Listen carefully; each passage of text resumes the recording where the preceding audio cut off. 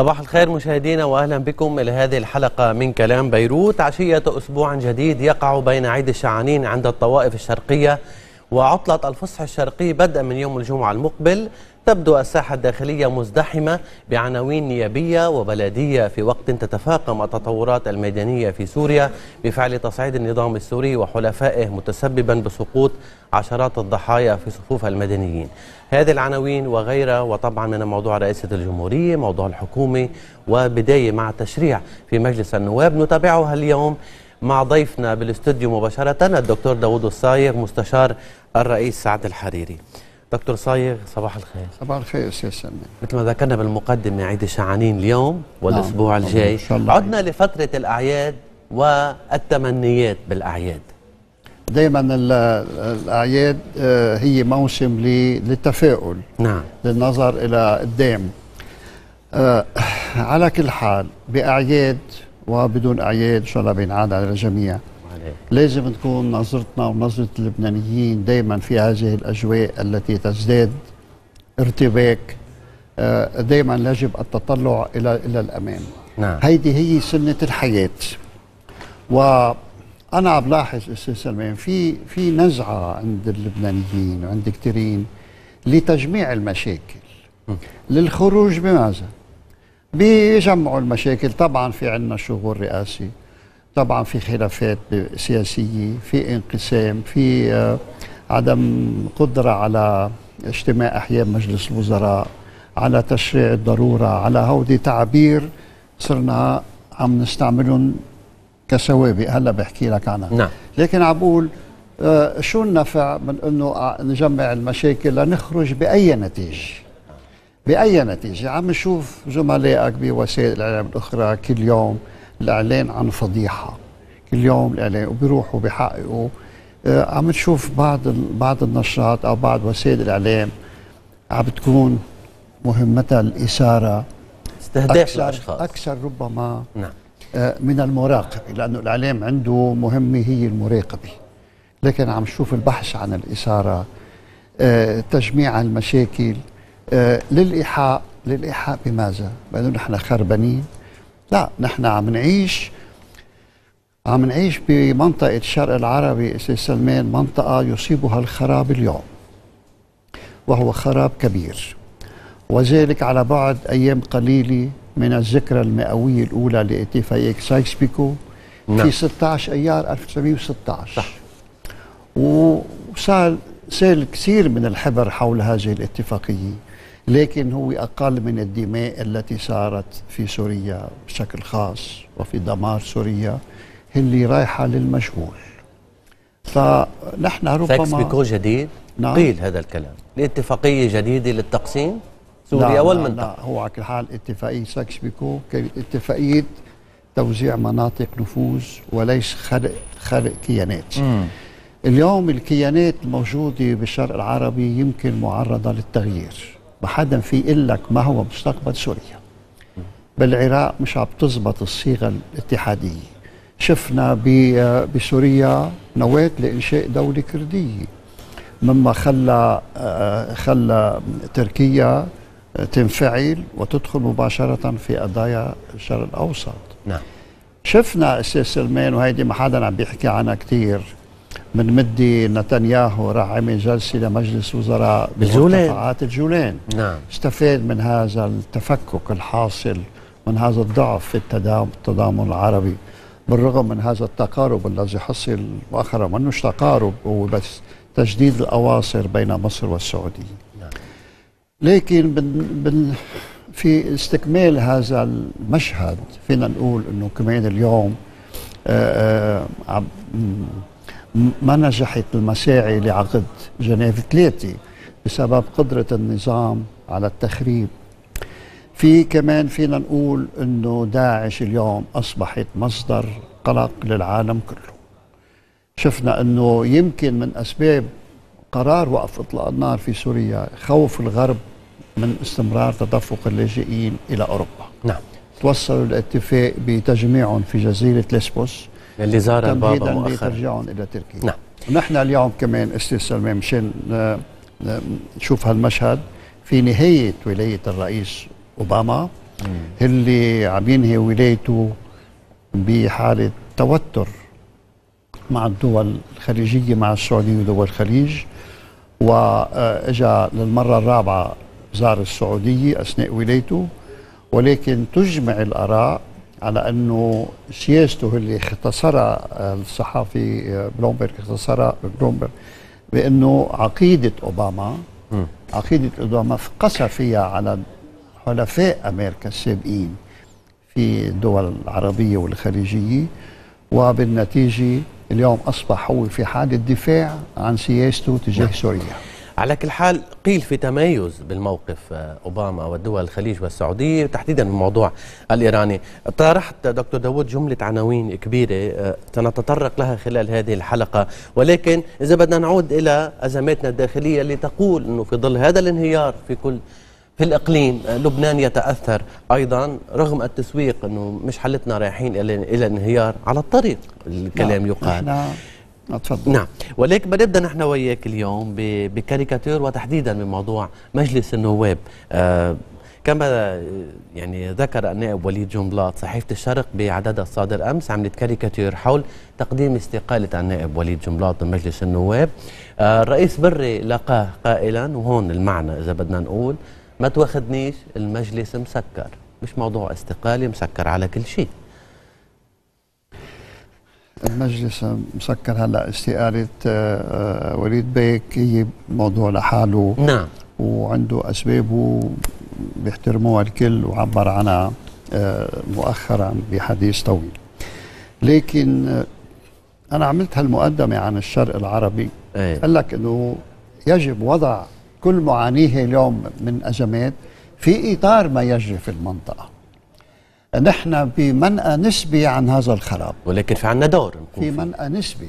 عم نتلقى هذه النتائج اللي أبرزها أبرزها آه إدخالنا في محور هذا المحور الإيراني السوري حزب الله اللي انعكس علينا بصورة مباشرة. نعم. وصرنا هلأ عم نستنبط آه حلول آه دستورية لمعالجة حالات سياسية مأزومة. يعني أنا شخصيا بكل تواضع بعرف القانون الدستوري صرنا عم نقول تفعيل عمل الحكومة. شو يعني تفعيل عمل الحكومة؟ يعني يجتمع صار اجتماع الحكومة حدث. حدث آه الكاميرات كلها بتروح على على مجلس وزراء عم يصوروا اجتماع الحكومي اللي لازم اللي هو شيء عادي. عمل روتيني. بقت تجتمع مجلس وزراء مثلا بفرنسا بيجتمعوا كل اربعاء عندنا كانوا يجتمعوا كل خميس. كل خميس. بالكيت انه بيطلع الوزير أو كان حدا بيقرأ المقررات وانتهى الموضوع. نعم. هلأ أصبحنا في جو تقريبا رغبة بإدخال الكاميرات إلى مجلس الوزراء لل, للنقل التداول. وفي بكل أسف عدد من الوزراء بيروحوا بيعطوا تقارير شو صار بالمجلس الوزراء؟ ما ين ما ينسف ينسف في رأيي آه، مهمة أساسية من مهمات السلطة والسلطة التنفيذية. وهي آه، تضامن الوزاري وسرية المداولات.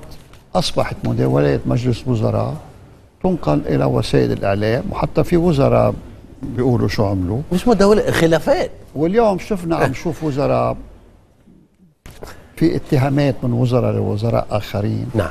يعني آه، ما عندنا بمجلس. وين العمل؟ وين الإنتاج؟ وين العمل؟ نعم. قبل العمل وين السلطة؟ أي. وين السلطة؟ يعني آه، مجلس وزراء هو طبعا تنوط به السلطة منوط به السلطة الإجرائية حسب التوصيف الدستوري ولكن حاليا في عنده صلاحية رئيس الجمهورية. آه الارتباك الحاصل لسببين. السبب الأول هو مفهوم ممارسة صلاحية رئيس الجمهورية. حسب روحية الدستور اللي موجودة بعدد من المواد وبالأخص بالمادة 74 62 74 إنه هيدي صلاحيات مؤقتة. يعني بانتظار انتخاب رئيس. كل الدستور آه، آه، مرتكز على روحية عدم جواز الشغور الرئاسي نعم. بانتظار انتخاب رئيس دكتور داوود وهذا ما يجري النقاش فيه اليوم بمجلس النواب. الرئيس بري أعطى مهل للقوى المسيحية وتحديدا بموضوع التشريع ليقدموا جواب بموضوع قانون الانتخاب أو أولوية انتخاب رئيس للجمهورية. جواب ما وصل لأنه انتهت المهلة امبارح. الرئيس السنيورة يقول بهذا الموضوع لأنه وقتها كان الرئيس الحريري أكد أنه نعم. لن يشارك بجلسات لمجلس النواب في حال ما تم وضع قانون الانتخاب على جدول الأعمال سنيورا رئيس سنيورا بيقول ملتزمون بأولوية قانون الانتخاب وبيشرح أنه إذا كنا غير قادرين. إيه ما حق الرئيس سنيورا إيه على الاتفاق على رئيس جمهورية لحد الآن ومش قادرين نتفق على قانون انتخاب. وين بروح التشريع؟ شو بنعمل؟ إيه, إيه يومها آه، الرئيس الحريري من حرصه على إبقاء الاتصالات وعلى الوحدة وعلى الحوار بين القوى السياسية وكان يومتها مطروح قانون استعادة الجنسية لأنه كان كان في عدد من المواضيع المالية بدها بدها إنه تبحث واصرت بعض القوى على موضوع الجنسية موضوع قانون الانتخاب. الجنسية وموضوع قانون الانتخاب. نعم. وتعهد آه، الرئيس الحريري بإنه على جدول أعمال اجتماع ثاني لمجلس النواب بيكون آه، قانون الانتخاب في في في جدول الأعمال. اليوم مثل ما بقول لك صرنا عم نحكي عن تشريع الضرورة. شو تشريع الضرورة؟ مثل تفعيل عمل مجلس شو تشريع الضرورة؟ تشريع عادي. هذا كله أستاذ سلمان نتائج خراب المؤسسات نتائج وضع الدستور تحت المطالب السياسية. نعم. وضع الدستور. لكن اليوم طبعا في في أمور بدها تمشي بالبلد. في تشريع بده يحصل. عندك أمور عديدة بدها معالجة. آه، آه، عبير عبير رفع مطالب. بالأول كان انتخاب الرئيس وعدم جواز التشريع طالما الرئيس مش موجود. وانه بجوز الرئيس يرد القانون. هلأ مين بده يرد بدنا رئيس لحتى طيب، يكون بدنا رئيس. هلأ خاصة قانون الانتخابات. هذا كان السبب المرة الماضية حتى آه، يعني أحد النواب قال إذا الرئيس مش موجود كيف كيف بده يرد القانون؟ نعم. هلأ عم رفع شعار آه، قانون الانتخابات. إيه. طيب اذا وضع على جدول الاعمال بوضع. وما ما ما مش الحال. مش في في حدا متفق على في مشاريع. في كثير في عدد كبير من مشاريع آه، قانون الانتخاب. آه، هل المجلس قادر إنه بمجرد إنه أدرجنا ذلك على جدول الاعمال حققنا شيء؟ أنا قصدي أقول أستاذ سلمان إنه عم نجرب آه، الحفاظ على الحد الأدنى من الموجود من عمل المؤسسات. مم. يعني طبعا في مشاريع اليوم في مشروع سبق الاتفاق عليه بين القوى بين المستقبل والحزب الاشتراكي والقوات اللبنانية. صح. إيه في غير مشاريع. مين بده آه، نسبية مين بده مختلط مين بده اكثري هيدي بدها شغل كثير لكن آه، ما في اتفاق عليها. يجري ذلك اليوم في ظل الانتخابات البلدية وفي ظل الاستمرار الحديث لانتخاب رئيس اللي هو أساس كل الشغور هو نعم. أساس كل ما نعانيه اليوم من مشاكل نعم. بما فيها مجلس الوزراء شرحت لك و... كان آه، بصلاحيات رئيس الجمهورية الخلاف عليها نعم. وإن كان بهذا بهذا الانقسام الحاصل الانقسام الحاصل اللي بيعطي صورة عن عدم القدرة على التوصل إلى قرارات رئيس سنيورا يؤكد الالتزام بهذا التعهد ولكن آه. يقول علينا تحمل المسؤولية كما يقول بصحيفة المستقبل بحديث لا له وأنه نكمل جدول الاعمال في حال ما تم آه، اتفاق على قانون الانتخاب إيه؟ وهون وهون كمان آه، موضوع الفريق يعني القوات والتيار والكتائب عنده موقف مبدئي تسار قضية الميثاقية أي. يعني الميثاقية بالأساس موضوعها مشان هيك يعني طبعا وعم بيرد الرئيس بري بيقول أنا أبو الميثاقية وما ممكن حدا يخل بالميثاقية اللي هي يعني تبقى الجلسات مضمونة من وجود بحضور كل المكونات. جميع المكونات. ممكن الرئيس بري يقدم على خطوة عقد جلسة وفي غياب؟ لا أنا رغم تأكيده على هذا الكلام الرئيس بري رح يضل يسعى للوصول إلى حل. نعم. والحل بيتم التوصل له لأنه الجميع حريصين على على هذه المصلحة الوطنية العليا. نعم. وإنه في أمور بدها تصير بالرغم من هذا الشغور وبالرغم من الخلافات القائمة. أنا هذا اللي بعتقده أساسا الخلاف هو رئاسه الجمهورية دكتور داوود. الأساس مش موضوع قانون انتخاب؟ لا قانون الانتخاب ممكن إنه يبحث. قانون الانتخاب كان دائما موضوع نقاش كبير في لبنان. وبالأخص هلأ إذا أخذ بمبدأ النسبيه الجزئيه في نعم. في في بعض المواضيع في بعض ال- المناطق إيه هذا شيء جديد على اللبنانيين. بين النسبية والأكثرية. جديد على اللبنانيين. يعني آه بصيروا يقولوا قانون عصري. شو يعني قانون عصري؟ أنا هذا تعبير ما بوافق عليه. قانون العصري يعني بجوز يكون ببعض الآلية بالتق- بالتقنيات لكن قانون الانتخاب الصحيح هو الذي يعكس واقع المجتمع. وواقع السياسي وواقع التركيب البشري هذا هو القانون شو يعني قانون عصري؟ بجوز تحدث بطريقة الاقتراع. مم. ولكن قانون عصري مش معناتها أنه النسبيه صارت قانون عصري. لا مشان تحسين التمثيل إيه. يكون تمثيل صحيح. هذا البحث اللي بي بيتم على على هذا على هالاساس يقال أنه بما أنه هالقد في مشاريع وفي تباعد وفي انقسام آه أنه قد حدود قانون الستين رجعت تتقدم إذا ما ما قدرنا بعرف نتفق. آه، أستاذ سلمان عم بيصير في حكي بقانون الستين مثل ما صار في هلأ عم بيحكوا آه، إنه كمان يمكن انتخابات البلدية تتاجل رح تصير وبعد في ناس بيقولوا تتاجل رح نحكي بلديات على كل الستين حال. أو غيره آه، هيدي انشرحها وشرحها رئيس الحريري أكثر مرة نعم آه، بعتقد معظم القوى منفتحة على التعاون فيما بينها. مشان آه، مشان قانون الانتخاب ودائما أستاذ سلمان قانون الانتخاب كان تقليديا هو موضوع آه، آه، مناقشات طويلة و آه، لأنه فيها في مصالح القوى السياسية. نعم. وقانون الانتخاب هو المؤسس لتطور الحياة السياسية في لبنان. وهو المؤسس ل فيني أقول للتجديد مع أنه أنا كلمة طبقة سياسية ما بحبها أيه. ولكن لظهور وجوه جديدة. نعم. لظهور وجوه جديدة آه، ممكن أنه أنه أي قانون انتخاب يعطي فرصة لشخصيات من المجتمع ما صار لها أنها تظهر قبل هلأ. صح. نحن بحاجة لتجديد ما بتقول بين مزدوجين هذه ال- أو لإدخال دم جديد إلى الحياة السياسية. آه، المجتمع بلبنان كتير غني.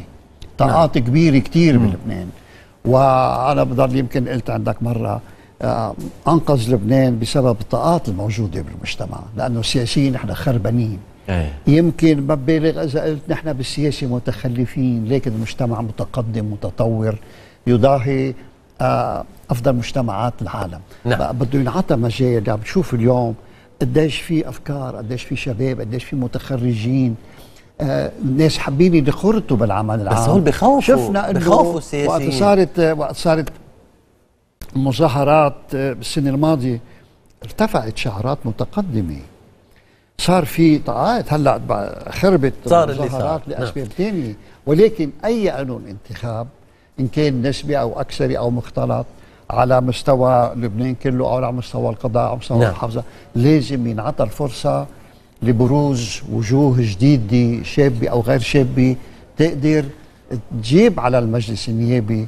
أفكار جديدة نعم. وتجيب على مجلس وزراء وعلى تحمل المسؤولية أفكار جديدة انه نحن اليوم آه أنا بتأسف إني أقول وصرنا بحالات بحالات اتهامات آه عم تحبط الناس وعم تنقلها التلفزيونات عم نشوف آه، بعض الوزراء بي- بينتقدوا وزراء زملاء لهم بده يجي يقعد حده ثاني يوم وبيتهمون بالفساد وبالآخر بتعابير مشتركين. آه، نعم على كل حال رح نتابع دكتور داود الصايغ آه، بعد الاستراحة الأولى موضوع رئاسة الجمهورية في كلام حول هذا الأمر وأيضا موضوع الانتخابات البلدية اللي كنت عم بتقول أنه حتصير وبعد في تشكيك بعدم إجراءها ابقوا معنا مشاهدينا بعد هذه الاستراحة.